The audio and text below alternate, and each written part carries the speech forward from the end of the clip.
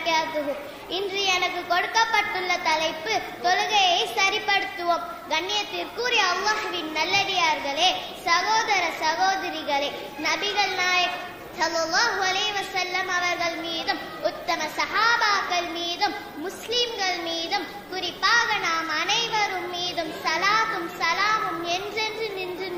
நிலவட்டுமாக மறுமை நாளில் மறுமை நாளில் முதல் கேள்வியே தொழுகை பற்றிதான். இறைவன் நம்மீது கடமையாக்கி இருக்கின்ற அமல்களில் மிக மிக முக்கியமான ஒரு அமல் தொழுகைதான். இந்த கடமையில் நாம் அனைவரும் நம்மை நாமே சுய பரிசோதனை செய்ய வேண்டிய நேரம் இந்த நேரம். ஏனென்றால் ஒவ்வொரு முஸ்லிம்கள் மீதும் நேரம் குறிக்கப்பட்ட கடமை இந்த தொழுகை. அல்லாஹ் இதை பற்றி நாலாவது அத்தியாயம் நூத்தி மூணாவது வசனத்தில் கூறும் போது பகீம் சலாத இன்ன சலாத கானத் அலல் முஃமினீன கிதாபம் மௌகூதா. நம்பிக்கை கொண்டோர் மீது தொழுகை நேரம் குறிக்கப்பட்ட கடமையாக உள்ளது. அல்லாஹ் இறந்தவர்களை அனைவரையும் மறுமை நாளில் எழுப்பி முதன் முதலில் தொழுகை பற்றி தான் விசாரிப்பான். இதற்கடுத்து தான் மற்றவைகளை பற்றி கேள்வி கேட்பான். இறைவன் கேட்கும் முதல் கேள்விக்கு நாம் அனைவரும் தயாராக இருக்கின்றோமா என்று யோசிக்க வேண்டும் ஏகத்துவ கொள்கையை ஏற்ற முஸ்லிம்கள் பல தொழுகையினும் அமலில் மறுமை நாளில் நஷ்டமாகி விடக்கூடாது நபி ஸல்லல்லாஹு அலைஹி வஸல்லம் அவர்கள் ஒருவரிடத்தில் போர் செய்கின்றார்கள் என்றால் சாதாரண குற்றத்தை செய்திருக்க முடியாது. தொழாதவனிடம் போர் இருக்கின்றார்கள் என்றால் தொழாமல் இருப்பது எவ்வளவு பெரிய குற்றம் என்பதை நாம் அனைவரும் விளங்கிக் கொள்ள வேண்டும்.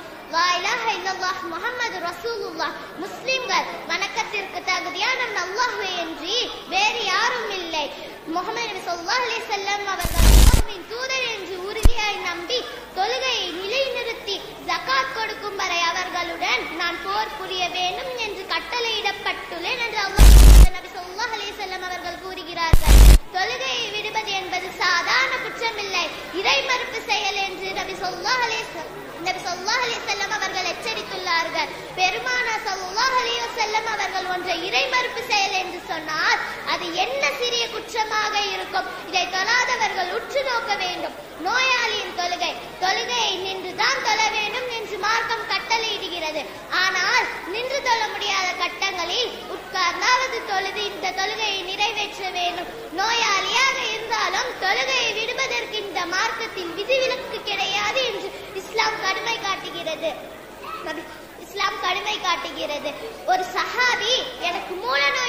உள்ளது எவ்வாறு தொழுவது என்று நபி ஸல்லல்லாஹு அலைஹி வஸல்லம் அவர்களிடம் கேட்டார். அதற்கு நபி ஸல்லல்லாஹு அலைஹி வஸல்லம் அவர்கள் கூறுகிறார்கள் நீ நின்று தொழு இயலாவிட்டால் உட்கார்ந்து தொழு அதற்கும் இயலாவிட்டால் படுத்து தொழு என்று விடையளித்திருக்கார்கள். போர்க்காலத்திலும் தொழுகை தொழுகை விஷயத்தில் மார்க்கம் எல்லளவும் விட்டு கொடுப்பதில்லை. தொழுகையை அந்தந்த நேரத்திலே தொழுது ஆக வேண்டும். அவ்வாறு தொழவில்லை என்றால் அவர்கள் எல்லாம் குற்றவாளியாகி விடுகிறார்கள். போர்க்காலத்திலே கூட தொழுகை போட இல்லை இதற்காக போர்க்களத்தில் தொழுகை எனும் சலுகையை வழங்கி அந்தந்த நேரத்திலே தொலை செய்கின்றான்.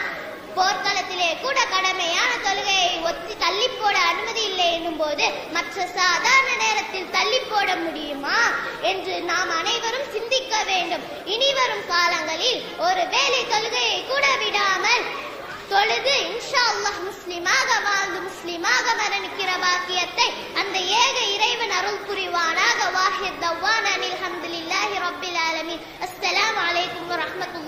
क्या कहूँ